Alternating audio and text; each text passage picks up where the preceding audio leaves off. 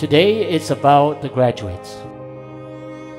It is my great pleasure to welcome you all to KAUST's 12th commencement ceremony.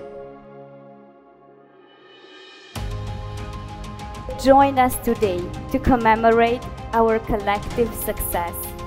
KAUST turned us into superhumans. Dear fellow graduates, it is our time to spread our wings and fly, to make a difference in this world.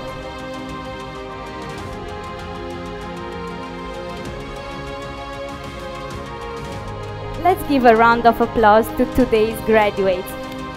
You are extraordinary.